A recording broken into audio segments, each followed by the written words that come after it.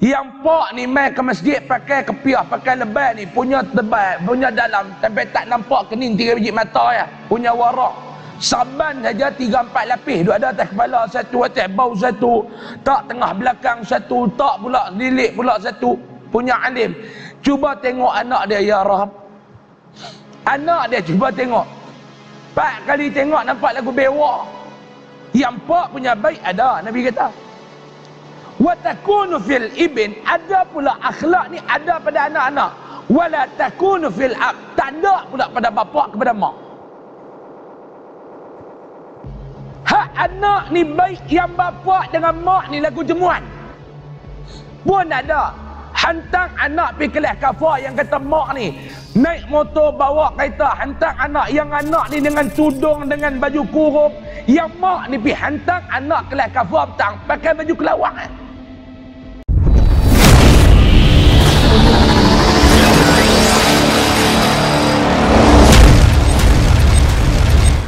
Assalamualaikum warahmatullahi wabarakatuh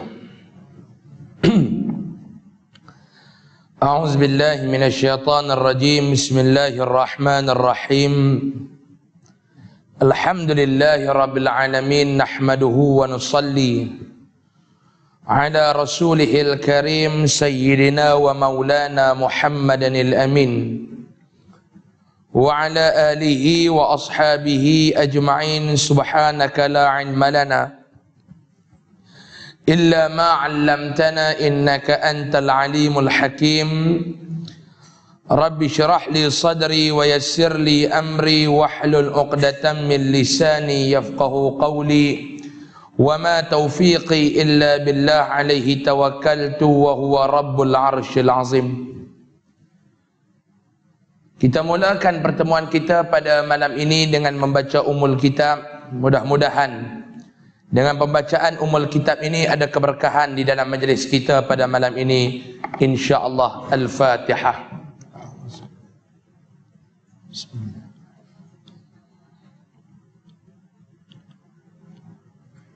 إياك نعبد وإياك نستعين إن الصراط المستقيم صراط الذين أنعمت عليهم غير عليهم ولا الضالين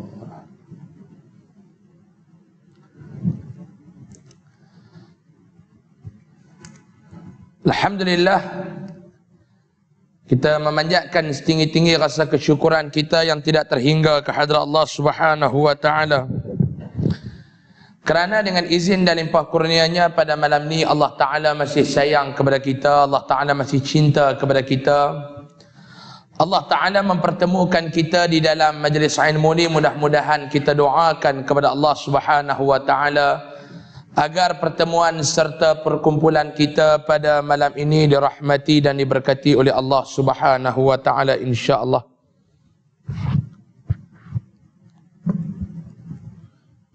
Dah macam Donald Trump buat press conference dah tuan-tuan ni. Eh?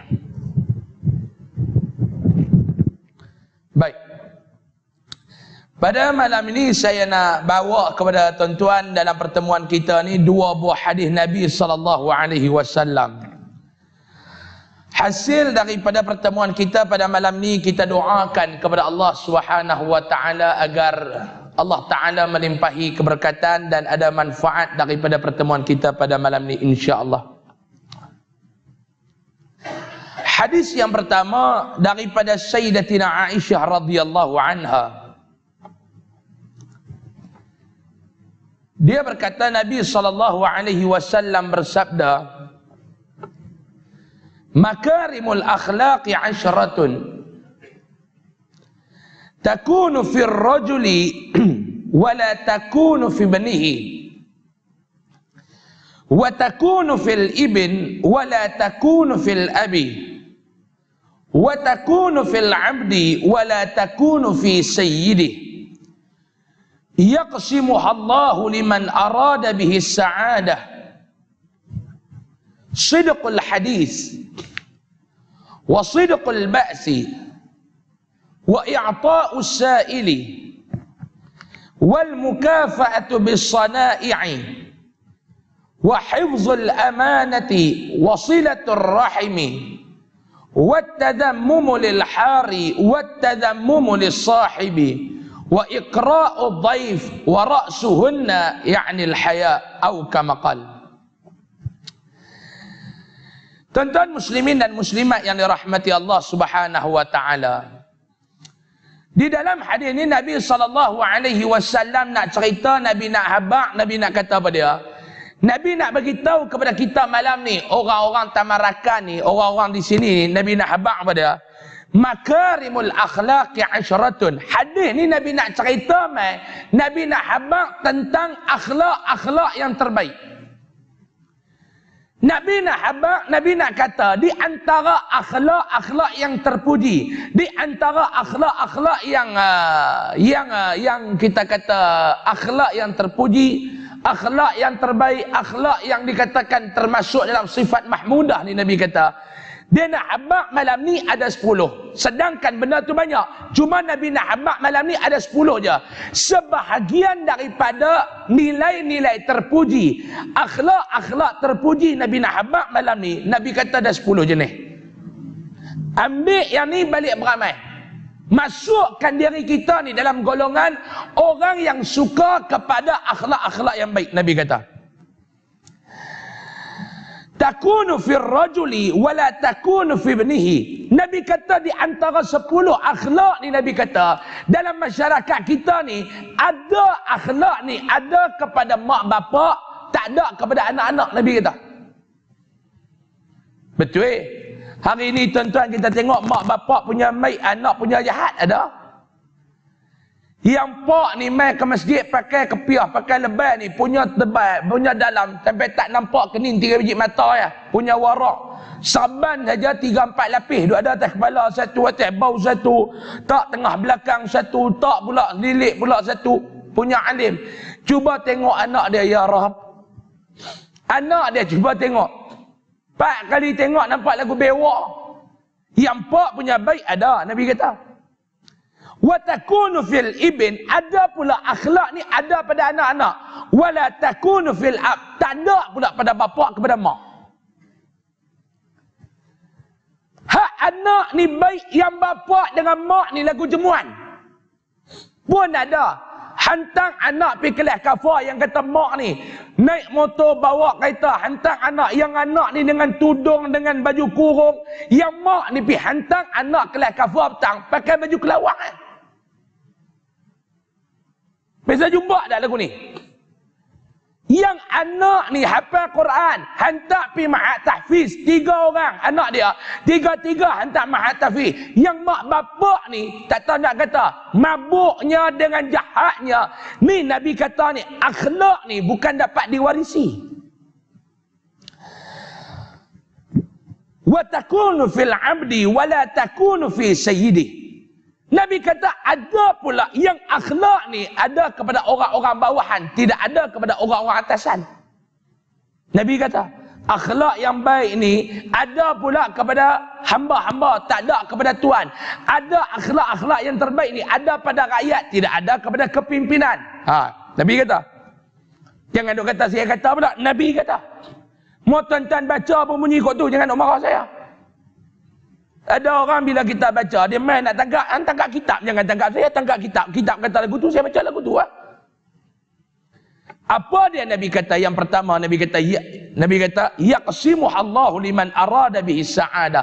Allah Ta'ala akan bahagi-bahagi sifat-sifat yang terbaik ni Allah Ta'ala akan bahagi-bahagi kepada siapa yang dia nak kawan ni mendapat kebahagiaan.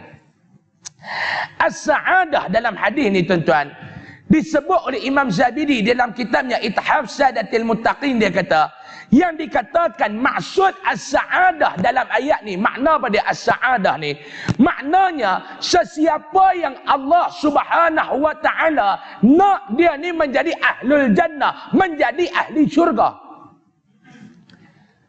Benda ni Allah Ta'ala akan bagi kepada orang yang nak mencari. Syurga ni Allah Ta'ala akan bagi kepada sesiapa yang mencari syurga. Kebaikan Allah Ta'ala akan bagi kepada sesiapa yang mencari. Sebab tu dalam satu ayat Kan Allah Ta'ala kata, wahai Muhammad, bila ditanya di mana aku, sebut kepada mereka yang bertanya tu, aku ni dekat dengan mereka. Mafhum satu ayat. Apa makna yang Allah Ta'ala kata bila ditanya di mana aku, sebut kata, aku ni dekat dengan mereka. Makna ulama bahas yang Allah Ta'ala kata, aku dekat dengan mereka ni tiga. Rahmat, redha dan berkat Allah dekat dekat dengan kita bagi sesiapa yang nak mencari. Sebab tu Allah Ta'ala sebut in ahsantum ahsantum li anfusikum wa in asatum falaha. Dia akan bagi kepada siapa yang mencari. Saadah kebahagiaan ni Allah Ta'ala akan bagi kepada siapa yang mencari. Apa dia? Yang pertama Nabi kata, di antara akhlak yang terbaik itu yang pertama Nabi kata, sidqul hadis. Yang pertama Nabi kata akhlak yang terbaik itu apa dia? cakap benar. Sidqul hadis benarkan dalam percakapan kamu, jangan duk bohong. Hari ini pantang kik kerana nak bohong ya. Dalam satu hadis yang lain riwayat daripada Imam Al-Baihaqi rahimahullahu taala. Hadis daripada Ubadah bin Samit radhiyallahu an Nabi kata apa dia? Nabi sebut dalam hadis itu Nabi kata idmanu li sittan min anfusikum. Nabi kata hampa boleh jamin tak kepada aku enam benda? Jamin mai kepada aku enam benda Nabi kata, "Adman lakumul jannah." Aku nak jamin syurga Allah. Ni yang kata orang yang dapat saadah kebahagiaan tadi ni. Nabi kata hampa boleh jamin tak mai dekat aku enam benda? Adman lakumul jannah. Aku nak jamin syurga Allah ni kepada hampa. Nabi kata. Yang pertama lagi Nabi kata apa dia? Usduqu idha haddastum. Yang pertama Nabi kata, bila hampa bercakap, tolong cakap benda-benda yang betul. Sama dengan hadis yang kita baca riwayat daripada Sayyidatina Aisyah radhiyallahu anha ni. Nabi kata yang pertama akhlak yang terbaik, sidqul hadis, bercakap benda yang benar. Qulil haq walau kana murra bercakaplah benar walaupun benda yang kamu nak cakap tu orang tak suka sebab apa al haqqu mir rabbi nilai kebenaran tu bukan datang daripada kita tetapi datang daripada Allah Subhanahu wa taala bercakap benda yang Allah taala suka Tuan-tuan ingat lagi tak saya habaq dulu ni satu kata-kata daripada ulama. Hmm, tuan-tuan lupa saya tahu. Hak mengaji bulan lepas pun haram tak ingat. Tambah hak mengaji tahun lepas. Dia tak maklum. Hak bulan lepas pun haram tak ingat. Tambah hak tahun lepas. Jenis ni kalau dabak tulis pula. Tulis. Leh-leh pen dengan buku masuk syurga yang tuan lepas keluar. Cuba balik tulis baca ni. Boh lambek tu. Bila pula nak pegang beg tu? Malam itu. Betul tak? Ingat dia tak tahu perangai orang Selangor. Lebih kurang orang Kodiang ya. Mau tak bawa buku tu kona balik ambil. Macam tak sah nak mengaji kalau buku tak bawa. Tulis. Buh dalam beg tu. Beg, buku, pen lepas masuk dalam syurga. Hak Tuhan duduk kat luar. Dulu kita bacakan kata-kata Imam Ahmad. Maklum ni tulis ke apa long? Hmm. Kan? Gagah mai dengar pi boleh masuk syurga ni kerana mai. Mau nak kata nak faham nak beramai tu lambatlah kalau kerana masuk syurga tu. Masuk kerana mai janji mai tak apalah Pak Long jangan tak mai langsung eh. Imam Ahmad Ibn Harb dia kata apa dalam kata-kata dia bila seorang pemuda datang kepada Imam Ahmad dia tanya kepada Imam Ahmad Wahai Imam nak tanya sikit ni Imam Ahmad kata ya ada apa nak tanya sikit kepada kamu wahai imam. Kenapa aku ni selama aku buat ibadat. Aku tak rasa kata ibadat aku tu sedap. Kenapa? Pemuda tu main tanya. Zaman tu pemuda kalau jumpa ulama. Tanya. Apa masalah? Masalah kemuskilan. Oranglah kalau jumpa ulama. Dia bukan nak tanya apa. Soalan yang pertama ustaz boleh tak selfie? Ustaz selfie tak? Perak, perak, perak, tiga dia bagi. Betul-betul bida'ah. Ustaz, nak buat dalam Instagram boleh? Bubuh. Lepas tu nombor tiga dia kata, Ustaz, bila-bila main tu update dalam Facebook, kami nak main dengar. Hak tu ya. Tak pernah dia nak tanya apa amalan-amalan tak ada. Orang dulu, bila jumpa ulama, dia tanya. Serupa dengan dia tanya kepada Imam Hasan Al-Basri. Cerita bagaimana tiga pemuda jumpa Imam Hasan Al-Basri di dalam apa nama pasar di kota Basrah tanya Wahai imam, kenapa kami ni berdoa? Allah Ta'ala tak pernah jawab doa kami. Sedangkan dalam Al-Quran Allah Ta'ala sebut, Udu'uni astajib lakum. Minta mai dekat aku, aku nak perkenan apa yang kamu nak minta. Adakah waktu kami berdoa, silap time, ataupun pada waktu tu, Allah tak dengar doa kami. Hak tu kita hurai dah dulu ni. Ingat tak ingat tu cerita lain. Tapi si abang lah. Imam Ahmad, mai kau budak ni tanya dia. Aku solat tapi aku tak rasa sedap. Aku puasa, aku tak rasa enak. Aku berzikir, aku tak rasa ladat. Sebaliknya yang aku seronok buat maksiat, tinggal semayang seronok, mengumpat fitnah sedap, mengadu domba rasa enak, tak baca Quran rasa lazat, nak sedekah rasa malas, tak sedekah rasa enak.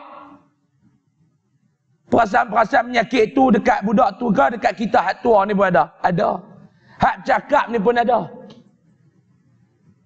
Nak baca Quran iblis syaitan ni dia main macam-macam. Saya baru ni nak baca Quran, duk angan-angan sehari nak baca sejui. Duk tengok ay ayah boleh buat, kata dia tua boleh buat, bukan aku muda tak boleh buat sehari sejui nak baca. Tak sejui. Satu juzuk orang Kedah panggil sejui. Habis bayang subuh masuk dalam bilik konon kurung diri dalam bilik.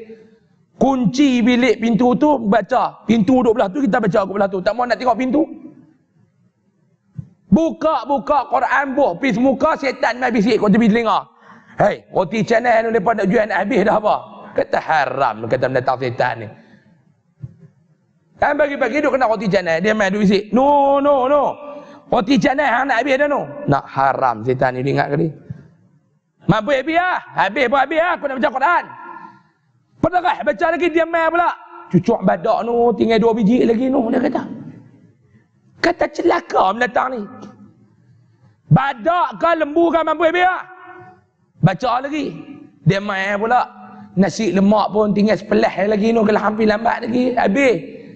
Mampu habis aku nak tak makan terkedarah. Mampu habis baca. Baca-baca bini martuk lapak pergi cari nasi. Ah, habis lagu tu lah. Setan kacau boleh lawan. Bini mai kacau kena keluar. Ni dia nak buat ibadat ni dia ada lah. Ada je. Lalu Imam Ahmad Ibn Har jawab kepada budak tu dia kata apa dia? Dia kata, Abadullah khamsina sanatan. Aku pun buat ibadat 50 tahun. Fama wajadtu halawatal ibadah. Malangnya dalam 50 tahun aku buat ibadat. Aku pun tak rasa yang kata ibadat ni sedap. Aku pun tak dapat rasa. Hatta taraktu salah satu asya. Sampai aku tinggal tiga benda dalam hidup aku. Kata Imam Ahmad. Aku buat ibadat. Aku tak rasa sedap. Sampai mana aku tinggal tiga benda. Yang pertama taraktu ridha nas hatta qadartu an atakallama bil haq. Yang pertama ni sama dengan Nabi kata. Yang pertama dia kata sehingga mana aku boleh tinggal dalam hidupku mencari redha manusia kepada mencari redha Allah. Tanda dia lagu mana? Hatta qadartu sehingga mana aku rasa kemampuan an atakallama bil haq nak bercakap benda-benda yang betul. Hari ini orang tak berani cakap benda yang betul tuan-tuan. Sebab apa? Sebab hidup dia cari redha manusia. Bukan dia nak cari redha Allah. Kalau dia cari redha Allah, biarlah sejuta manusia kata aku tak betul. Asalkan Allah kata aku benar. Cukup. Kita dah hari ini minta maaf lah. Saya pun sama. Bila nak buat satu benda, kita akan tanya. Apa orang nak kata? Betul ya tak? Buat kenuri. Laki dia cadang kita buat karaoke sikit. Mau tak ada karaoke tak sedap. Nak kena menyanyi juga lagu Menahan Rindu Wani Hasrita. Baru dia nak rasa sedap. Bini dia kata, abang kita ni duduk pergi masjid. Kalau duduk buat karaoke dekat kenduri kahwin anak. Sekali orang kata apa? Dia duduk kira orang. Dia tak kira Allah nak kata apa. Kita ni tuan-tuan yang pertama Nabi kata, akhlak yang terpuji yang kena ada dalam diri kita. Yang pertama, sidqul hadis, cakap benda yang betul. Lalu ulama bahas makna sidqul hadis ni apa dia? Dia ada dua maksud. Sidqul hadis ni ada dua maksud. Yang pertama kata Imam Mawardi, yang pertama bercakaplah benda yang benar selagi mana benda tu bertetapan dengan jalan Allah dan jalan Rasul. Cakap benda betul. Apa yang Allah Ta'ala kata betul, apa yang Nabi kata betul, tetap kena kata betul. Apa yang Allah Ta'ala kata tak betul, Nabi kata tak betul, tetap kena kata tak betul. Walaupun benda tu akan mendapat satu tentangan yang hebat daripada manusia-manusia lain. Biar bi, janji aku bercakap sama dengan Allah dan Rasul cakap. Yang kedua maksud sidqul hadis cakap benda yang benar ni apa dia? Yang kedua cakap benda-benda yang faedah. Kan Nabi kata di antara ciri kesempurnaan iman seseorang tu apa dia? Falyaqul khairan aw liyasmul. Bercakap benda yang baik, tak ada benda yang baik, diam. Cakap benda yang betul. Mau tak ada benda yang betul nak bercakap, diam. Ni tak ada ngongam, ngongam. Habis kuliah duk makan cucuk kat bawah beranda tu. Setiap bulan aku tu lah. Makan cucuk. Bagus masjid tuan-tuan ni setiap malam makan cucuk. Bagus, oh, saya, saya abang dia tuan. Dia ingat senang nak buat. Walaupun benda tu nampak remeh, nampak simple. Tapi bukan semua masjid boleh buat. Dua tiga malam okey lah dia bancuh tiar tarik. Masuk dua tiga tahun dia tarik kepala pengurusi kan. Kita duduk makan kat bawah. Mula dia macam-macam cerita lah. Cerita orang tu, cerita orang ni, kawan tu tak betul, kawan ni tak betul. Dia duduk main. Dia duduk main. Dia duk mai benar-benar lagu tu. Orang ni tak betul, orang ni tak betul. Habis semua orang dia kata tak betul lah. Kali dia kata apa? Ustaz cakap tadi pun bukan betul sangat. Habis dengan orang ustaz kena. Mula dia kata kawan tu tak betul, kawan ni tak betul. Lah kali ustaz tu pun tak betul. Yang kedua Nabi kata, di antara benda yang baik ni apa dia? Wasidqul ba's. Wasidqul ba'si. Ketetapan di dalam peperangan. Apa makna ketetapan dalam peperangan? Batu hadis ni mau kita baca maksud faham tapi tak boleh faham apa yang Nabi nak abang lagi. Makna kita faham wasidqul ba's. Letak ketetapan di dalam peperangan. Apa dia maksud? Sebab tu hadis ni tuan-tuan dia bukan duk boleh baca ikut makna zahir lagu tu ya. Kena tengok apa yang ulama syarah. Hari ini orang dia belajar hadis dia nak ambil maksud zahir hadis ya. Contoh, saya bagi contoh. Dia baca hadis Nabi kata kullu bid'atin dalalah wa kullu dalalatu finnar. Atau kama qal. Nabi kata setiap benda yang Nabi tak buat tu nama dia bid'ah. Setiap yang bid'ah ni sesat. Setiap yang sesat ni masuk neraka. Lepas tu dia duk syarah mereka orang awam. Sebab tu tuan-tuan jangan duk buat benda yang Nabi tak buat. Kita hari ni duk baca Yasin malam Jumaat. Nabi tak buat, buat apa? Nabi kata kalau buat masuk neraka. Ha, dia duk main duk hurai kat kita lagu tu. Tu yang duk pergi berhimpun dekat padang-padang duk. Ya hanana, ya hanana. Nabi tak pernah buat, duk buat apa? Nabi kata kalau buat masuk neraka. Dia duk main syarah. Orang awam pun duk faham. Oh, benda yang Nabi tak buat ni tak boleh nak masuk neraka. Lingkup masyarakat. Kalau nak pegang hadis ni, dia bukan boleh pegang kepada zahir. Dia ada am maksus. Kena tengok pula pengkhususan kepada makna tu lagu mana. Serupalah dengan Nabi SAW bersabda dalam hadis yang lain.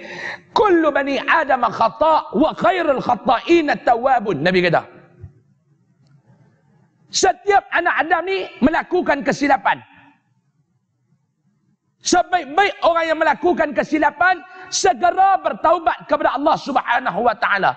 Kalaulah tuan-tuan pegang hadis ni cara zahir, lingkup tuan-tuan. Kullu bani Adam khata. Setiap anak Adam buat dosa, buat silap. Setuju? Setuju Ustaz. Kita tanya balik Rasulullah tu anak Adam ke tak? Nabi itu anak Adam ke tak Nabi itu? Qul ana basyarum mislukum. Kata oleh wahai Muhammad, aku ni manusia macam kamu semua. Nabi pun anak Adam. Basyarun la kal bashar. Anak Adam manusia tapi tak sama macam manusia lain. Kalau tuan-tuan pegang zahir hadis itu, adakah tuan-tuan bersetuju Rasulullah juga buat dosa lagu kita? Mana ada yang dikatakan Nabi ni insan yang maksum. Maksum meminat zunub yang terpelihara daripada dosa. Tak boleh duk pegang hadis cara zahir. Kena tengok ulama syarah. Kena tengok para muhadithin menghuraikan hadis itu lagu mana? Imam Nawawi kata, kullu dalam maksud bid'ah tu bukan setiap benda yang Nabi tak buat tak boleh buat kebanyakan benda yang Nabi tak buat sesat kebanyakan bukan kesemua kebanyakan lingkup rosak kalau kita dah faham lagu tu hadis tambah ya Quran kalau kita tolak hadis nak baca ya Quran saja lagi tak faham lah tuan-tuan ada orang dia tak mau hadis-hadis ni. Dia kerana ayat Quran ya. Lingkup. Bukan makna Al-Quran tu tak lengkap. Kita ni tak dapat nak memahami Al-Quran kalau tanpa bantuan daripada penerangan baginda Rasulullah sallallahu alaihi wasallam. Baca Quran tak faham. Dia kata faham tak? Kami tengok terjemahan. Baik, saya nak tanya tuan-tuan. Dalam Al-Quran Allah Ta'ala sebut Fi qulubihim maradun Fazadahumullahu marada Bisa dengar maklum? Ha? Hei Bisa dengar tak? Biasa Bukan biasa nak biasa ha. Pak Long bisa dengar tak? Biasa tak? Bisa Makna tahu tak Long? Tahu tak? Fi qulubihim maradun pada hati-hati mereka ni ada penyakit. Fazadahumullahu marada. Dan Allah Ta'ala tambah lagi penyakit-penyakit hati mereka. Faham? Makna tahu? Satu soalan yang saya nak tanya. Fi qulubihim maradun. Allah Ta'ala letak dalam diri mereka. Dalam hati mereka penyakit. Maradun dalam tu penyakit apa? Saya nak tanya tuan-tuan. Home di situ maknanya siapa?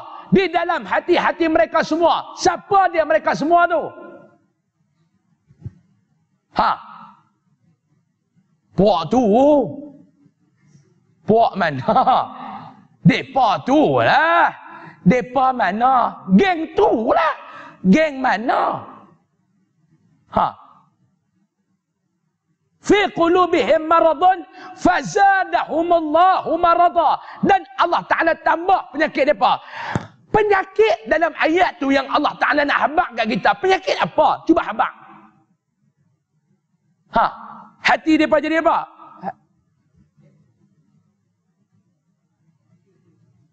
penyakit hati tak iyalah penyakit apa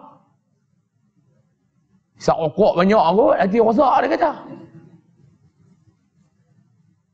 Tu kita tak boleh nak memahami konteks, kontekstual ayat secara mutlak, secara total kalau tidak dibantu oleh sabda-sabda Nabi sallallahu alaihi wasallam. Baca hadis, kalau ulama tak tak tak tak tolong terang kepada kita, tak boleh nak terang. Kita tak boleh nak faham. Jauhnya kita dengan Nabi ini tuan-tuan. Yang kita nak tolak, tolak, tolak ulama terus kita nak pegang kepada hadis. Tak boleh. Bukan maknanya kita tak boleh nak pegang hadis tu. Kita tak dapat nak memahami hadis kalau tidak menggunakan jalan yang disusun oleh para alim ulama. Ni macam ni. Yang pertama, sidqul hadis. Cakap yang benar. Kita tak faham cakap yang benar tu bagi betul. Rupanya tafsiran dan tasyarah pada ulama ni ada lagi. Yang kedua, ketetapan di dalam peperangan. Apa maksud ketetapan dalam peperangan? Kalau tak dihuraikan oleh ulama, kita tak faham. Saya baca hadis, saya kena tengok syarah ulama, baru dibuat penghuraian. Maknanya lagu ni. Di zaman Nabi sallallahu alaihi wasallam dulu kan, Nabi ni berperang. Di antara kesukaran Nabi nak bawa Islam, kadang-kadang terpaksa sampai tahap mengeluarkan pedang daripada sarungnya bertempur dengan puak-puak kufar Quraisy pada waktu itu. Dahsyatnya Nabi nak bawa agama main kepada kita berperang. Para sahabat syahid di dalam medan peperangan. Para pejuang Islam tersungkur rebah syahid di dalam medan peperangan demi nak membawa Islam datang kepada kita. Hari ini tuan-tuan kita ni apa dia yang kita berjuang untuk agama? Tuan-tuan nak berjuang bagi masa lama sikit nak duduk dalam kuliah pun tak boleh. Tak maaf lah cakap. Kadang-kadang ada di Selangor ni bukan di masjid ni dalam tempat lain. Takat jam bunyi lah. Lepas tu stop lah. Tak boleh lama-lama kami nak balik makan pula Ustaz. Nak balik cuam bini pula Ustaz. Nak balik peluk anak-anak pula Ustaz. Ha. Tambah hari ni hari Rabu Ustaz. Pukul 10 tak ada Hindustan TV 2 Ustaz. Nak balik tengok Hindustan pula Ustaz. Nak balik tengok movie pula. Tu lama mana? Ustaz cakap cakap jam bunyi sudah. Saya kalau masjid ada arah lagu tu tuan-tuan. Saya saya pi sampai lewat, berhenti bagi awal. Ada masjid-masjid lagu tu saya bagi sampai lewat 10 minit orang habis mayang 15 minit saya sampai. Sampai tu pula buat lagu pi ya. Duduk dalam jamban biar lama sikit keluar ambil yak mayang. Main mayang pula baca biar panjang sikit. Tengok-tengok ada lebih kurang 15 minit lagi nak masuk waktu. Duduk pula, duduk selok muka surat tak jumpa. Perang-perang 7-8 minit, Wallahu alam. Hampa nak lagu tu aku bagi. Kita main daripada Kedah berapa ratus kilometer, 400 lebih. Duduk dalam kereta ni tuan-tuan, kat 6 jam nak main jumpa tuan-tuan. Tiba-tiba dia nak suruh kita bercakap 25 minit, 30 minit. Masa yang lebih Tuhan nak buat apa? Sedangkan Imam Al-Ghazali rahimahullahu taala kata 24 jam tu hampa nak menjadi mukmin yang sejati, mukmin yang muttaqin, hampa kena bahagi kepada tiga. 8 jam yang pertama guna untuk rehat. Hak tu kita guna dengan sebaik mungkin. Kadang-kadang lebih daripada 8 jam. Lena malam 6 jam. Pagi kadang-kadang bangkah lena lagi. Lapan jam yang kedua, hampa guna untuk mencari nafkah. Nak pergi kerjakan, nak buat apa guna. Lapan jam yang ketiga, bagi masa hampa untuk Allah. Agak-agak tuan masa kita dengan Allah sehari dah lapan jam. Tobat tak ada. Ni kita nak bagi masa untuk agama, nak memahami agama, nak faham agama, tak boleh. Para sahabat berperang. Dan ada pada waktu tu di kalangan tentera-tentera Islam yang duduk di dalam medan peperangan ni tuan-tuan. Dia rasa lagu dia tak makan cekak. Dia kedua daripada kumpulan ni lari bawa diri. Hak tu Nabi kata akhlak cukup tak elok. Kita duduk di dalam medan peperangan. Apa pun yang terjadi aku tidak akan berganjak walaupun sejengkal daripada medan peperangan. Aku takkan lari. Ni tambah kita hari ini tuan-tuan duduk dalam agama. Agama kita diasak daripada depan, diasak daripada belakang, diasak daripada kanan, diasak daripada kiri, diasak daripada atas, diasak daripada bawah. Ketetapan yang lagu mana tuan-tuan letak dalam perjuangan nak meningkat dan nak mem mem memartabatkan Islam hari ini. Kita hari ini tuan-tuan.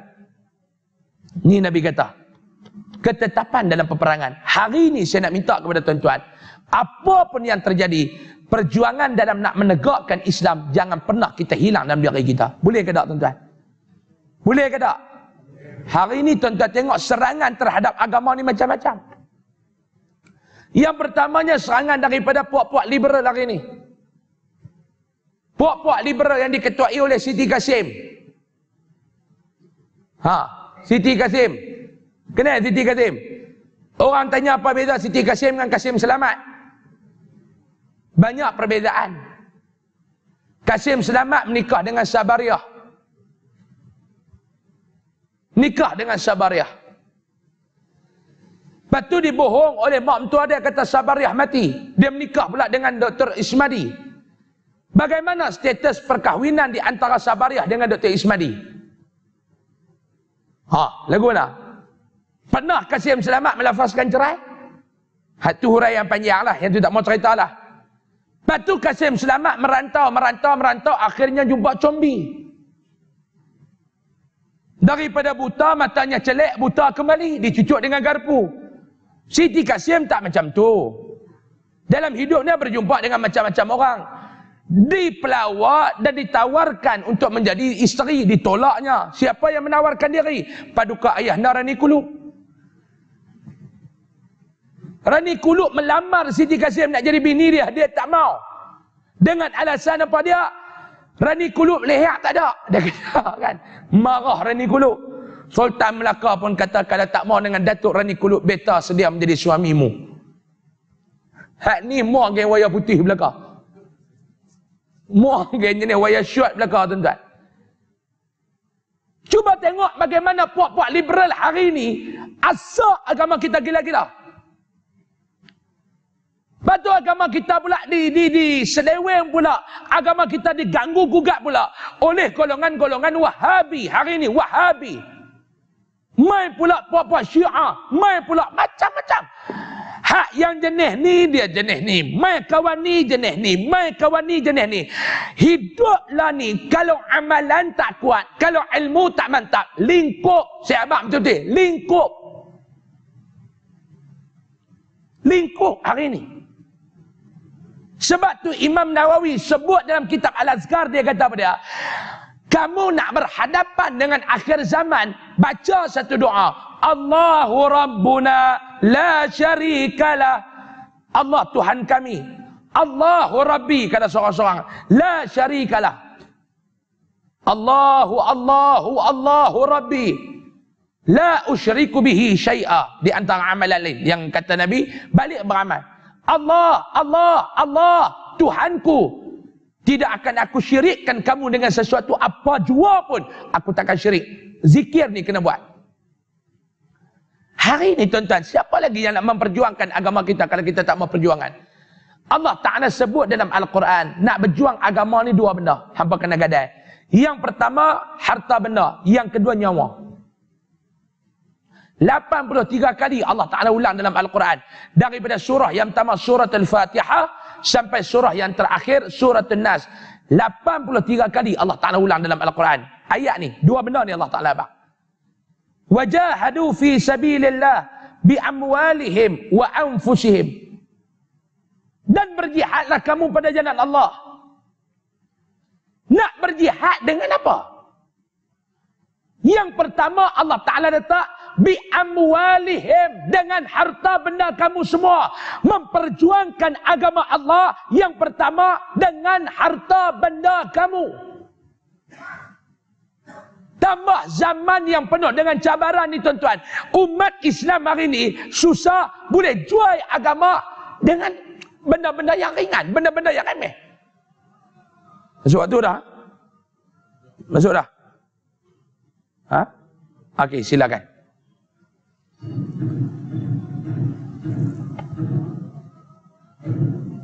Bunyi apa pula tuan-tuan? Pelik-pelik wujud tuan-tuan ni. Gendang keling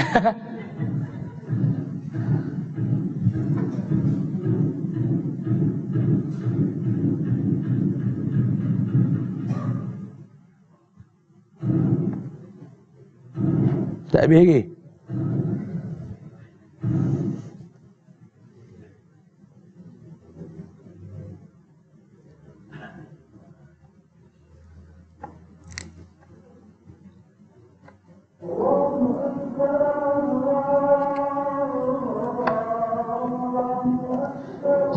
أكبر الله أكبر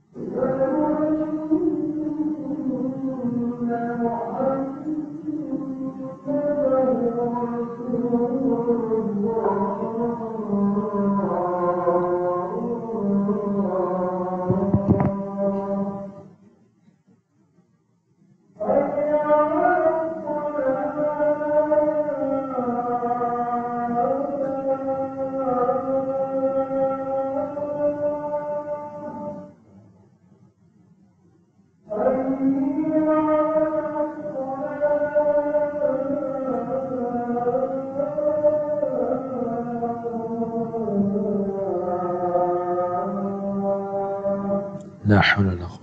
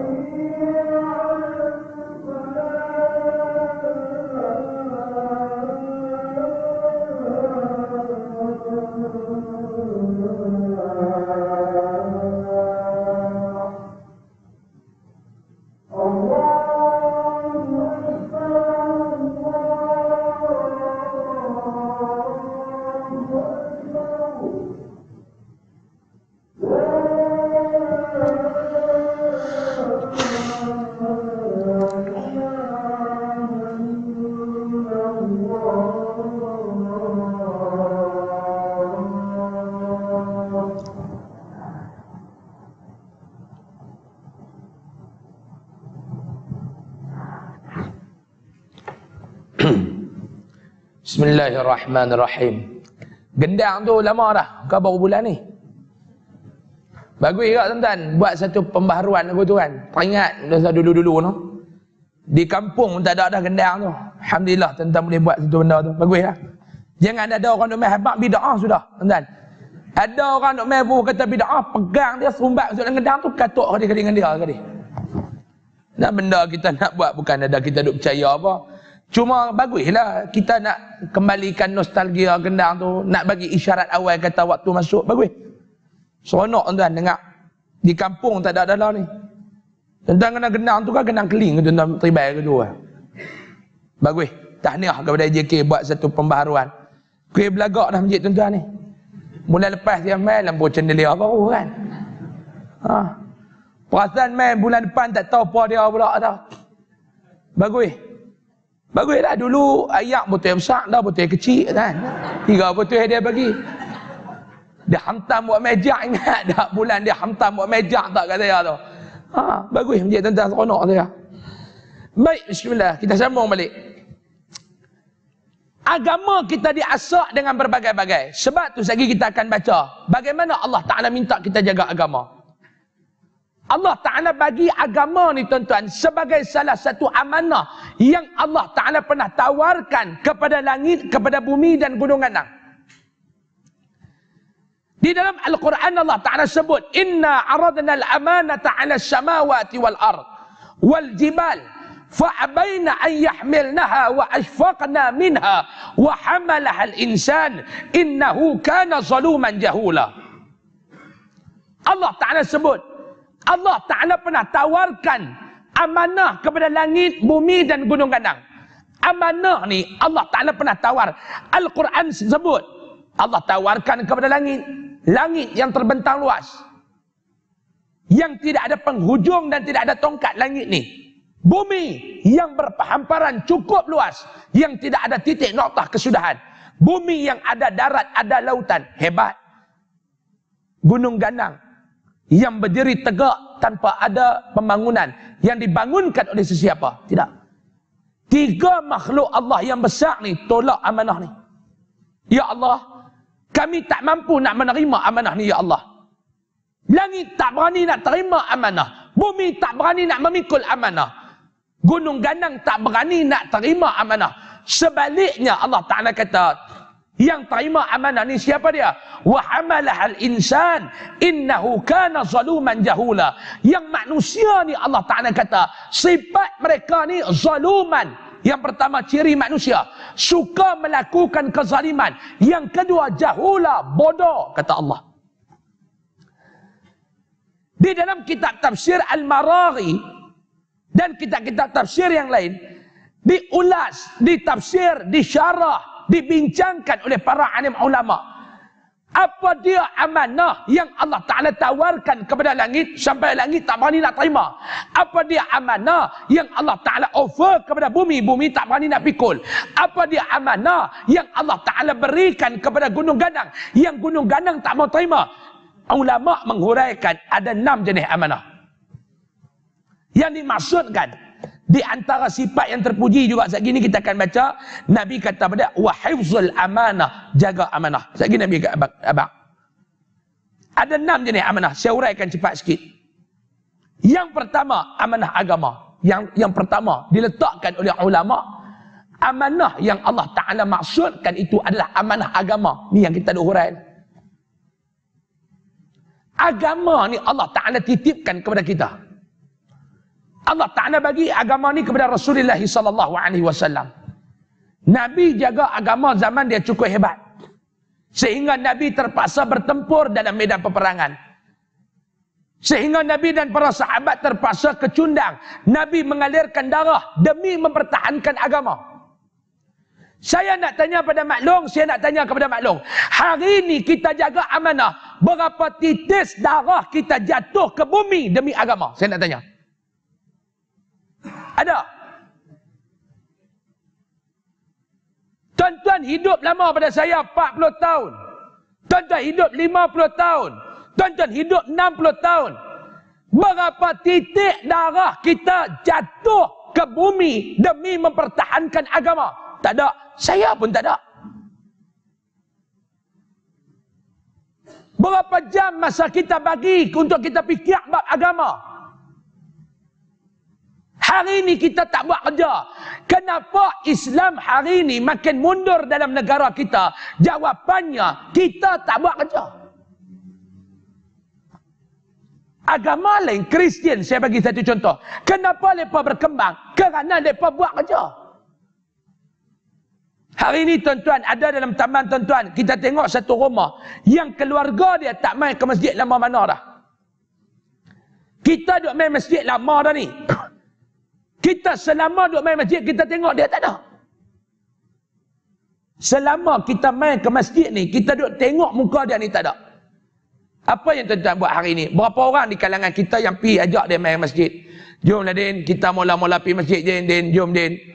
Ada? Jomlah Din, kita pi masjid Din. Kita ni bukannya makin muda Din, makin tua. Uban pun dah banyak dah kat kepala Din. Dulu rambut penuh lah, jarang dah Din. Dulu janggut pun tak ada putih lah putih belakang dah din. Dulu tak pakai spek mata kena orang din. Lah kalau tak pakai spek mata pi jaya buat balik bini orang din. Jom din. Ada? Tak ada. Hari ini kita tengok ada keluarga kita yang susah dalam taman kita. Keluarga orang Islam yang susah. Berapa ramai di kalangan kita yang prihatin buat donation, derma. Kumpul duit, bantu dia. Anak dia nak pergi mengaji, tak tak mampu. Berapa ramai di kalangan kita bantu? Ada. Orang Kristian dia buat lagu tu. Orang tak pergi gereja, dia boleh ajak sampai orang pergi gereja. Sebaliknya orang Islam dia kerja dia apa? Kutuk mengata tak habis-habis. Biar-biar keluarga tu bayar dia fikir ah, masjid tak ramai. Kita tanya dia Tuan Haji biasa pergi ajak dia. Bukan dia tak tahu Ustaz, orang duk azan siap kami ketuk genang kelin lagi lah. Bukan dia tak dengar. Tuan-tuan. Pernah tuan-tuan hantar jadual pergi dekat rumah dia. Ni abang ni jadual pengajian kuliah kita lepas maghrib. Nah. Oh, lepas maghrib ni? Ya, lepas maghrib. Maghrib lah pergi apa? Dia boleh tanya kita. Maghrib lah ni abang, 6.58 ke 7 tu masuk lah. Oh, hak senja tu maghrib mana? Ya abang. Hak pagi-pagi buta tu subuh. Tabak dia dia, aku dia tak faham. Hak yang senja tu maghrib, yang pagi buta tu subuh. Oh. Ni kuliah ni lepas mayang ke belum mayang? Lepas mayang bang. Tiga rakaat yang maghrib. Oh. Tiga harakat tu gagak lama mana? Bukan harakat bang, rakaat. Harakat baca Quran bang. Oh. Ni ustaz-ustaz semua ni muka eh. Dia tengok kan. Ha, ni ustaz bang bukan penyamun tarbuih apa ni ustaz belakang ni. Hmm. Ada hak derah kali tu yang mana? Hak tu abang. Rabu pertama tu dia lah yang terakhir kali tu kan. Oh. Orang tua ni, orang tua. Yang panggil kita orang tua. Orang mana? Orang kod dia bang. Ha. Abang pergi mana? InsyaAllah, insyaAllah. Bulan pertama kita pergi, bukan dia nak main lagi. Nabi Nuh dakwah lama mana tuan-tuan, pengikut dia berapa orang. Ya? Jangan benci. Bulan depan pergi pula. Assalamualaikum bang. Waalaikumsalam. Mai pula dah. Dah eh nak main bagi jadual dekat abang ni kuliah maghrib. Ha. Pas maghrib mana? Ha, lepas maghrib bang. Mampi mana? Ha, InsyaAllah ha, ada masa saya sampai. Tonton bulan depan dia tak main. Pergi hantar lagi. Assalamualaikum bang. Apa hati saya pergi ya? Dia buat lagu dua kita. Tak, ni bukan nak main hantar ni. Nak main hantar jemputan ada kenuri. Ada kenuri di masjid. Oh, masjid kita buat kenuri ya? Buat kenuri bang. Oh, bila? Malam esok bang. Makan apa? Nasi Arab. Dia sampai. Malam esok dia sampai. Dia nak main main maghrib. Dia terlupa. Dia main subuh pagi lah kan. Dia main. Bila dia main, malam tu ada kenuri. Tuan-tuan ra'i dia. Kita ni pula, mulut orang kita ni jahat. Hei, ada makan baru nak sampai. Jangan kata apa ni, mulut orang kita ni pun kadang-kadang orang masjid ni mulut jahat. Dia kata patutlah angin kuat petang tadi. Dia kata patutlah orang nak sampai. Diam. Tuan-tuan mai, dia takkan duduk dalam masjid. Tuan-tuan nak suruh dia duduk ke depan ni. Tobat dia tak duduk lah. Dia mai duduk mana? Dia duduk ke belakang-belakang. Teh motor lah kereta. Dia malu. Tapi dia lapar. Dia mai malam ni tuan-tuan. Habis mayang. Pi makan. Tuan-tuan tengok dia tak pernah sampai. Pegang tangan dia. Bagi duduk dalam hidang ustaz. Ha tuan-tuan yang kerak-kerak pi dah duduk hidang lain. Bagi dia ni yang tak pernah mai. Tak. Ustaz pun tak kena. Eh, baru nampak. Ha, dia nazir masjid ustaz. Tuan-tuan bagi pula jawatan baru kat dia. Nazir masjid. Nazir masjid tuan-tuan bagi. Ni nazir baru kami. Eh, dah. dah. Dia pun tak tahu nazir tu mendatang apa kan. Dia bukan tahu apa je ni tak pernah main masjid ni. Bagi dia makan. Ustaz pula cedok nasi buh kat dia makan. Dia bangga maklum. Agak-agak bangga lah maklum. Dia balik rumah. Seminggu dia cerita kat bini dia. Bini dia kata, abang pergi mana tadi? Pergi masjid. Ya Allah, biar amtik. Betul eh? Ha, tak nak sampai masjid. Ha, kapiak. Itu dia baru sampai kali. Dia kata kat bini dia kapiak dah. Dia boleh kata, ha, tak nak sampai. Ha, kapiak. Dia kata. Sampai ke masjid. Baru sampai. Dia kata masjid kita sakan entah hang tak dah sampai. Lampu besar. Dia cerita habis, dia cerita habis. Dia cerita habis, lampu besar, masjid warna hijau, tangga ada empat. Lepas tu dia akan cerita kat bini dia, aku makan pula dengan ustaz.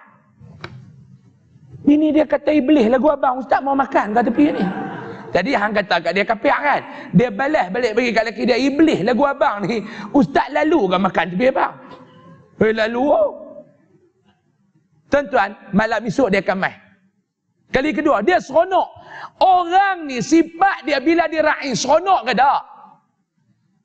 Bukan kata orang, saya hak ustaz ni, pi masjid surah hanya ni orang buat tak erti. Dengan mai masjid surah yang orang raih, saya mai yang raih. Hak tak buat tak erti tu tak pi dah. Jangan dia panggil. Sampai kita pula duk cari mana dia nak balik kereta duk taman dah. Ada kadang-kadang orang masjid ni pun, waktu kali pertama kita sampai, dia boleh pergi ambil kita kat tolong. Ustaz sampai, ustaz bagi tahu kami pergi ambil. Kita sampai habis ceramah nak balik, dia tak hantar balik, dia betul. Ustaz keluar ambil kanan, satu terus tu. Trafik light yang pertama terus, trafik light yang kedua, ustaz tu subuh itu duduk masjid tu lagi, duduk cari jalan tak jumpa. Dia akan main, malam yang kedua dia akan main. Tarik dia duduk dengan ustaz lagi. Memang tujuan dia main nak makan dengan ustaz. Lama kelamaan dia akan lekat, dia akan lekat, dia akan lekat, dia akan lekat. Tackle kita ni tuan-tuan. Sebab tu Nabi SAW, kenapa Islam zaman tu orang kenal? Sebab Nabi pandai tackle. Nabi pandai tackle. Tackle orang nak dengar agama. Tackle orang dengan akhlak agama. Hari ini kita tak hukum di kalangan kita tak pernah kesudah. Orang tak main masjid, lepas ni biar-biar, mampu biar. Tuan-tuan, Allah Ta'ala nak balik ke Allah Ta'ala nak tanya, mana dia JK masjid? Mana dia orang masjid? kami ya Allah. Berapa ramai di kalangan anak Korea hampa yang tak main masjid? Apa yang hampa buat? Kami buat kuliah ya Allah. Kuliah dalam masjid ni, hadu man ni semua lagu ni. Haji ni baik belakang dah. Muka ni duk main setiap bulan. Mati pergi seorang, korang pergi sikit. Tuan-tuan buat kuliah, tuan-tuan hanya menarik orang yang dah baik. Nu orang yang tak pernah main masjid tu. Hak waktu lah duk tolak dam kat kedai kopi ni. Lepas duk dengar dia kata, kata kat kita lah tu. Tak contoh. Adakah kita nak masuk syurga seorang-seorang maklum? Adakah kita nak masuk syurga seorang-seorang? Hari ini berapa ramai di kalangan tuan-tuan yang nak masuk syurga seorang-seorang? Tak Ustaz, kami nak masuk ramai-ramai. Allah Ta'ala sebut dalam Al-Quran, Ya ayuhalladzina amanu, Qu anfusakum wa ahlikum nara, kata Allah. Wahai orang-orang yang beriman. Bila Allah Ta'ala sebut, Ya ayuhalladzina amanu, Amanu, mim tu fathah. Jangan pergi pemati tu. Kalau pemati, tamim tu bunyi lain. Faham? Kalau mim mati, Ya ayuhalladzina amnu. Kan? Mim tu kena patah. Manu. Bukan no. Manu. Allah Ta'ala sebut. Ya ayuhalladzina amanu. Wahai orang-orang yang beriman. Bila ada ayat yang Allah Ta'ala sebut perkataan Ya ayuhalladzina amanu. Kita nak jadi orang beriman lagu mana maklum Pak Long. Kena buat apa yang Allah Ta'ala sebut lepas tu. Faham? Tak faham Ustaz? Okey. Ya ayyuhalladzina amanu kutiba alaikumus siyam kama kutiba alal ladzina min qablikum la'allakum tattaqun nak jadi orang beriman dalam ayat tu Allah Taala suruh buat apa puasa ciri dan sifat orang yang beriman dia akan berpuasa Faham? Dalam ayat yang kita baca tadi, ya ayyuhalladzina amanu qu anfusakum wa ahlikum nara. Wahai orang-orang yang beriman, peliharalah diri kamu kita wa ahlikum dan ahli keluarga kamu daripada bakaran api neraka Allah. Nak jadi orang yang beriman, kena cari jalan bagaimana kita dapat menyelamatkan diri kita, ahli keluarga kita daripada bakaran api neraka Allah. Minta maaf, orang Kodian tempat saya kata sorry to say. Hari ini tuan-tuan, ramai di kalangan mak bapak nak masuk syurga, seorang-seorang lepa ya. Mana dia ustaz? Tuan-tuan yang main kuliah malam ni, berapa ramai di kalangan tuan-tuan yang pernah paksa isteri dan anak-anak suruh main mengaji sama malam ni? Buka kunci motor, tekan starter, uyung seorang.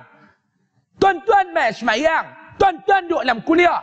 Anak tuan-tuan di rumah, empat orang tu, berapa orang yang dah semayang maghrib? Ni Aisyah dah masuk dah. Maghrib berharam tak semayang. Betul tak? Pernah fikir tak? Ustaz bukan nak ajak main tiap malam kot. Ya, kalau tak boleh tiap malam, weekend.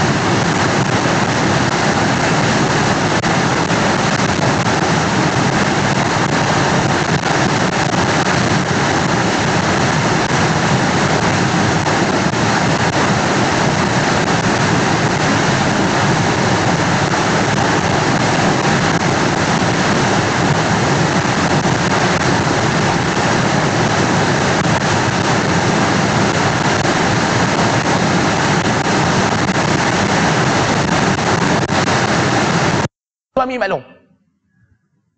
Ada ajak dia. Doh, isap rokok depan rumah tu petang tadi ada ajak. Sudah-sudahlah bang, rokok-rokok tu. Jomlah pergi kuliah. Dia kata duduk dalam kawasan masjid, dia isap rokok. Boleh. Ha? Dia main. Dia tengok. Tanya bini dia, orang duk isap tak mana? Dia tanya tu. Bukan dia tanya tak mana nak mayang. Dia tak orang duk isap tak mana? Bang, rokok tu buat keluar lah. Nanti abang balik abang isak lah bagi keluar ke lubang pungkuk tak apa asap tu dia kata kata kat lubang hidung, lubang telinga, lubang pungkuk berasap dia lah. Saya nak abang kat tuan-tuan ni benda ni walaupun bunyi melawak tapi kena buat. Tak mau kita ni duk elok dah duk berjalan nak masuk dalam syurga. Tiba-tiba tinggal setapak lagi nak langkah masuk dalam syurga. Duduk depan pintu dah. Tiba-tiba anak kita pegang, isteri kita pegang. Ya Allah, dia tak pernah marah. Kami tak tutup aurat. Ya Allah. Jahanam sebab amanah ni yang kedua yang kedua disebut oleh ulama dalam kitab tafsir mereka yang Allah Taala tawarkan kepada langit bumi dan gunung ganang. Amanah yang kedua tu apa dia? Amanah anak-anak. Anak-anak ni amanah. Tuan-tuan pernah tegur tak anak kita yang duduk duduk aurat? Kakak, Ya Abah. Akak sayang Abah tak? Sayang Abah. Akak nak ke tengok Abah duduk dalam neraka? Tak mau Abah. Akak pakai baju bagi elok. Akak duduk dedah aurat pakai seluar ketat, pakai tudung singkat, pakai baju ketat duduk tunjuk kat siapa ni? Akak benda ni akan menjadikan Abah, akan jadikan Daddy masuk duduk dalam neraka akak. Bukan kita nak berkah suruh anak kita pakai telekung 24 jam dah. Hang nak berfashion, berfashion lah. Selagi mana tutup aurat. Tudung nak pakai panjang mana pakailah. Nak belik belik yang tadi nak pusing pun. Janji tutup aurat. Bukan kita nak bekas suruh pakai telekung. Tutup muka, tutup apa tinggal biji mata yang nampak. Ha? Saya hari tu pergi satu surau ceramah Selangor. Habis ceramah. Lepas ajak berjalan pergi makan nasi rumah nasi. Duduk berjalan. Dalam taman tu kelam sikit. Makcik tu, kak tu dia balik daripada surau lah. Dia naik menentang apa jenis tu. Jenis jenis kata motor yang jenis diri tu. Datang apa? Orang panggil lupa lah. Hak tu lah. Dengan dia pakai telekung nampak biji mata ya. Dia pederah terkejut kami tuan-tuan. Ingatkan pun tiada nak turun meh malam tu. Dah lah menatang tu dia slow ya berjalan. Terkejut saya. Sayat dah. Kata haram makcik ni. Dalam kelab dia pakai lagu tu. Dengan mata tutup semua. Ada tak kita pernah tegak bini kita yang? Ya bang. Sayang-sayang abang tak? Sayang abang. Saya nak duduk tak dengan abang dalam syurga? Nak. Jom kita buat amal kebajikan sayang. Pedah tak? Saya cerita kat tuan-tuan sikit lah cerita. Nah ni nak habis dah. Jadilah. Sejam lebih-lebih mengajak. Sudahlah. Kalau lajak pakai sembilan pun habis mengajak. Bukan dia masuk syurga lagi. Ayah saya bulan lepas bersedih dia. Ada seorang anak murid dia ni orang orang orang berada jugalah datuk ni. Dia ni sebenarnya bersedih ayah saya dia hadiah kereta sebuah Mercedes C200 Avantgarde baru tu harga lebih kurang 258 ribu kot. Dia beli cash bagi kat ayah saya cash. Saya pun duk tanya ayah saya aku ada lebih-lebih seorang anak murid lagu tu mai jadi anak murid saya. Tak apa kan? Hak jenis tu ni anak murid saya jenis duduk lena dalam kuliah yang banyak ni. Dia bagi hadiah. Mesti 258 ribu cash dia beli. Tukar nama ayah saya apa? Mesti baru. Bukan sikit handphone baru. Habis tu dia bagi tiket kapal terbang, mai apa dia bagi hotel apa. Duk sembang dalam masa tu, duk sembang kat kafe tu di hotel tu. Dia kata Datuk doa kat saya Datuk awak siapa? Ya saya kata. Saya lah nak jual saham saya dekat satu negara lah. Dia dia melabuk di sana. Dia nak jual lebih kurang, hampir lebih kurang dalam campur pi, campur mai, tolak pi, tolak mai. Dia kata tak banyak, lebih kurang 500 juta. Saya minum teh, terkeluar susu kan, terkejut. Dia kata tak banyak, 500 juta. Kita 500 ringgit pun banyak. Masuk teh, oh keluar teh susu saya ni kan. Terkejut. Ayat dia tu dia kata nak jual ni saham ni dia kata tak banyak campur pi campur mai tolak pi tolak mai dah 500 juta. Dia kata ayah saya kata awak nak jual siapa melabuk lagi lah kok-kok nanti ni dia kata tu. Orang perempuan suruh jual. Balik ni dia kata isteri dia ni, dia dulu dia tak apa nak dia tak apa ni dia isteri dia. Kita ni tuan-tuan nak jadi baik pasangan hidup. Maklum tak? Kalau maklum duk baik, maklum duk semayang dapat pasangan hidup lelaki haram, mayar arak duduk darah. Lama tak lama kalau kita tak kuat dengan kita jadi lagu dia. Kalau kita ni jenis tak baik dapat bini baik, dia kuat. Akhirnya kita jadi baik. Bini dia kata, sudah-sudahlah bang. Hantar duit tu pergi tunggu kita tu depan syurga dia kata. Dia cerita baru ni dia balik daripada Dubai, dia pergi meeting. Beli gelang mah ni lebih kurang harga dalam 300 ribu. Hadiah kat bini dia balik. Sayang ke bini. 300 ribu mah betul ya. Maklum hak lelaki maklum dia beli tu mah Korea tu 38 ringgit tu. Ni mah betul ya. Dapat mah Korea tu pun belagak nak mampu kan. Kerat tangan baju lagi nampak mah Korea dia tu. Balik bagi kat dia. Seronok lah orang perempuan dengan mah ni seronok lah. Tu tak maklum. Kan? Hadiah. Hari ini dia hadiah. Esok satu sekolah anak yatim dekat Sedang, kat, sorry, dekat Banting call. Assalamualaikum Datuk. Ya, Waalaikumsalam. Terima kasih Datuk. Nah, Datuk mai wakaf gelang mah kat kami. Hei, bila aku wakaf lah? Eh, tak ada eh. Dia kata ni ada staff Datuk hantar mai gelang mah, Datuk wakaf. Hah? WhatsApp mai tengok gelang tu. WhatsApp-WhatsApp bagi kemarin kat bini dia. Terus hentak kat bini dia awak yang pergi wakaf ni pakai lah dulu. Dia kata kurang-kurang 2-3 tahun wakaf lah. Dia kata bang, Allah bagi tahu dalam Al-Quran kita nak bagi apa untuk agama ni kena bagi yang paling kita sayang. Dalam barang kemas Zaizang yang paling saya sayang ni lah pasal yang baru dapat kemarin. Insya Allah bang, benda ni akan tunggu kita bersama di depan syurga. Ni, dia ingat kot tu.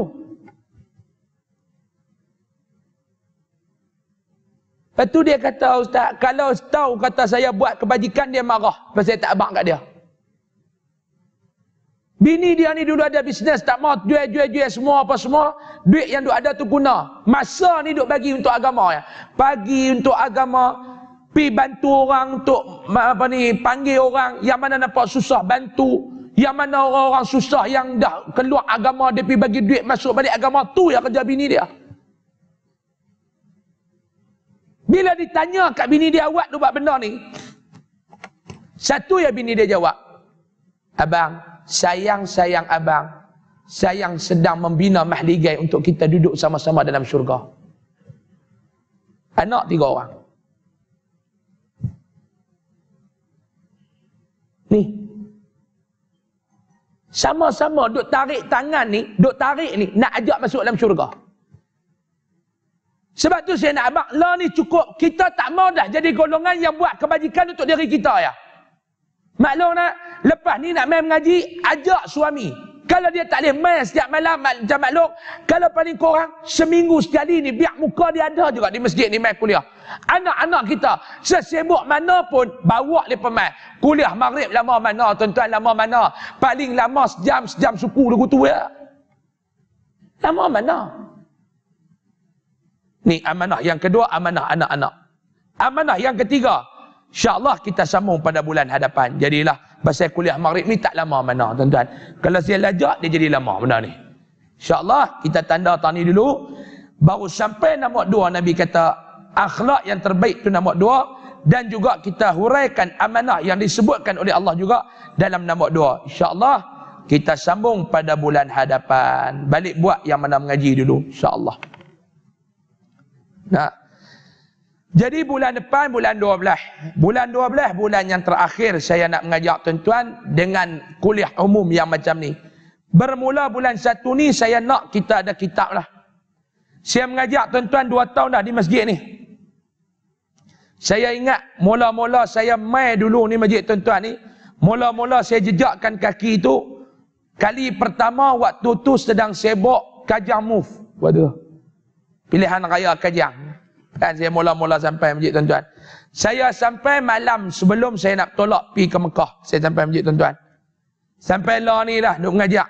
Hak mati pun tiga empat orang dah. Tak tahu mati ke tak main tak tahu. Saya muka tu duduk nampak dulu ni tak tahu tak ada. Saya khusnuzan dia matilah. Nah. Kalau saya kata dia tak main nampak macam sangkaan saya jahat. Sangkaan saya kata dia meninggal. Di kita duk main kuliah umum lagu ni apa kadang-kadang setuan-tuan dapat kata dapat saya pun tak tahu. Jadi insya-Allah saya akan bincang dengan pihak masjid. Kita nak tengok kita nak buka kitab. Tak apa saya ambil kitab-kitab yang murah, saya tak ambil mahal tahu kata orang sini susah. Kalau saya beli hak 4 50 ringgit pakai tak belilah kan. Kita cari hak yang 15 ringgit 10 ringgit ke bawah tu. Kan? Kalau nak seronok lagi saya nak cadang. Saya tahu tuan-tuan di sini orang kaya apa ramai. Kita cari kitab yang harga 15 ringgit ke kitab 10 ringgit. Kalau boleh tuan-tuan wakaf kitab tu. Beli seorang kata dia ada duit. Contohlah kata kitab tu harga 10 ringgit. Beli buang 10. Wakaf atas nama mak, wakaf atas nama ayah. Letak tentu siapa yang tak ada duit tak boleh ambil balik. Ataupun simpan kat masjid. Jenis tuan-tuan kalau buat balik bulan depan tak umai pula tu masalah tu. Tak kat masjid kita baca. Nah ada lah sekurang-kurangnya pahala yang kita boleh apa sedekah kepada arwah mak ayah kita insya-Allah saya akan tengoklah kita baca kita kita ringan jadilah kita kita berat saya pun tak arti kita pun jangan ada ilmu ingat baca kita kita ringan sudah Mau kita kita berat, saya tak ada ilmu lah. Macam tuan-tuan ilmu banyak, main mengaji apa, tak ada ni ilmu banyak kan. Kitab tak ada, buku tak ada. Jadi insyaAllah, kita akan tengok pada bulan satu, kita akan menggunakan kitab. InsyaAllah. Jadi untuk malam ni saya rasa cukup sekadar ini dulu. Mudah-mudahan Allah Ta'ala merahmati kita, Allah Ta'ala memberkati kita. Akhir kalam macam biasa, sagi tuan-tuan Nabi Semayang, dekat pintu-pintu keluar tu ada tabung daripada Yayasan Ariadah. Macam tiap-tiap bulan lah. Tuan-tuan boleh niat untuk mak ayah, untuk apa nama diri kita, anak-anak kita, isteri kita sedekah. Niat untuk nama-nama mereka ni. Bagi untuk anak-anak tahfiz, anak-anak yatim, fakir miskin. InsyaAllah tuan-tuan boleh niat. Dan yang kedua, produk kita ada di luar sana Tok Koko boleh dapatkan. Wakaf pembangunan pun masih ada lagi di belakang sana. Dan siapa yang nak buat pemotongan duit dalam akaun bank untuk menaja pelajar-pelajar tahfiz ni juga, borang ada di luar sana. Saya nak umumkan bulan minggu lepas seorang lagi pelajar kita yang khatam Al-Quran hafazannya. Alhamdulillah. Saya minta kepada dia niat dah untuk ibu-ibu dan ayah-ayah di sini yang duk menaja pengajian mereka ni. Minta Allah Ta'ala sampaikan jugalah pahala-pahala ni. Kerana duit kupang kita kita bagi ni, saya boleh bela mereka sehingga mereka boleh khatam Al-Quran. Dan bulan ni kita akan ada seorang. Dia ada duduk yang ke-29. Bulan ni dia kata target, dia boleh khatam. Dan bulan depan ada seorang lagi. InsyaAllah. Siapa yang nak menajar mereka secara langsung boleh isi borang di luar sana. Wallahu alam. Bismillahirrahmanirrahim. Allah manfa'na bima 'allamtana wa 'allimna ma yanfa'una warzuqna 'ilma yanfa'una wa zidna 'ilma. Alhamdulillah ala kulli hal wa na'udzubika min hali ahli an-nar. Sallallahu alaihi wasallam Muhammad walhamdulillahi rabbil alamin. Assalamualaikum warahmatullahi wabarakatuh.